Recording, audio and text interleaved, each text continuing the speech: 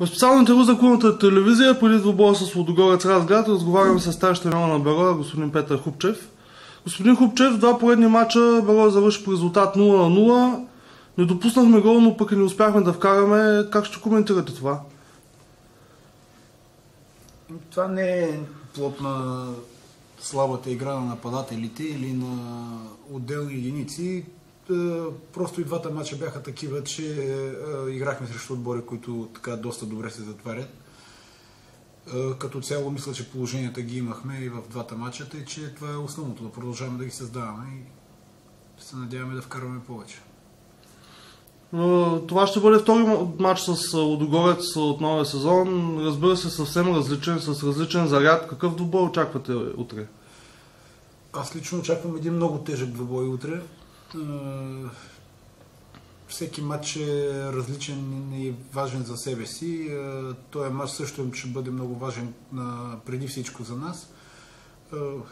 Гостуваме на шампиона на България, очакваме един много тежък матч. Нищо общо няма да има приказките, които се чуват, че Лодогорец ще бъдат изморени или ще подсенат отбора, тъй като играем между два матча в, за европейски турнири.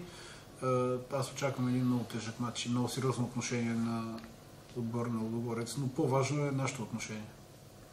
В тази връзка, какво е настроението в отбора на тренировките? Доволен ли сте?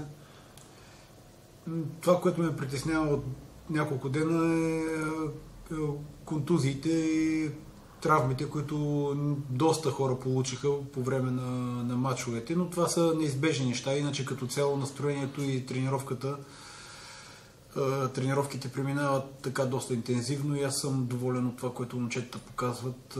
Бих казал, че старанието не е намаляло в никакъв случай. Точно обратно продължава да се тренира така сериозно и само това е пътя. Все повече и повече да тренирам.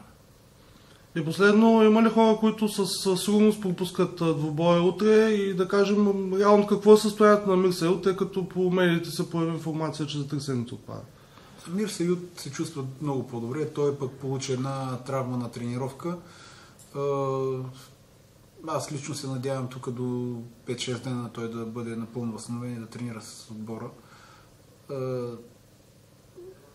Реално за него, реално мисля, че това прекъсване, което предстои след две седмици, ще е добро, добре дошло и след това той ще бъде напълно готов. Веско Пенев пропуска този двубой. Не съм сигурен Мартин Райнов дали е 100% готов. Игор Джоман тренира вече с отбора. Ще преценим дали да го вземем в групата. Тъй, че като цяло горе-долу нещата се подобряват. Добре, благодарим за успех.